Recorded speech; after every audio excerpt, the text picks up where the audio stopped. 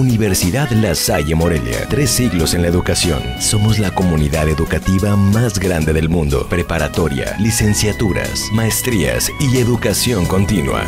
La Salle, profesionales con valor. Examen de admisión 31 de mayo.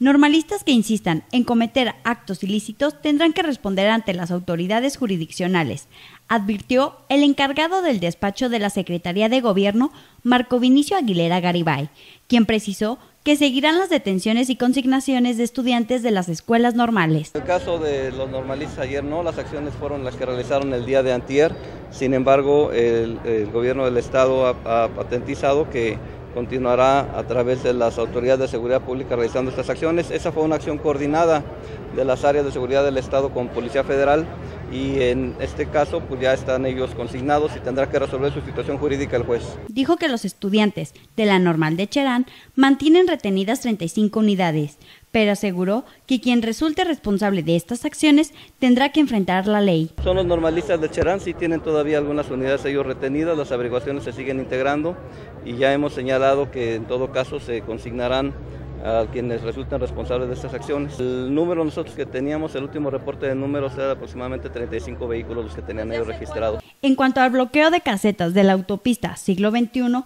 por parte de los normalistas, Aguilera Garibay recalcó que el gobierno no caerá en confrontación directa para evitar perjudicar a la ciudadanía. No lo ha hecho, digo, yo creo que este, a la vista están los casos en los que se ha habido ejercicio de acción penal, en los que se han consignado igual el día de antier que se hicieron las detenciones y nosotros lo que hemos reiterado es que no vamos a caer en situaciones de confrontación directa ni cuestiones en las que pueda causarse un mayor daño a la sociedad o a particulares. Aguilera Garibay comentó que esperan que los normalistas regresen a las clases a partir de esta semana para que no pierdan el ciclo escolar. Para Cuasar TV, Andrea Fernández.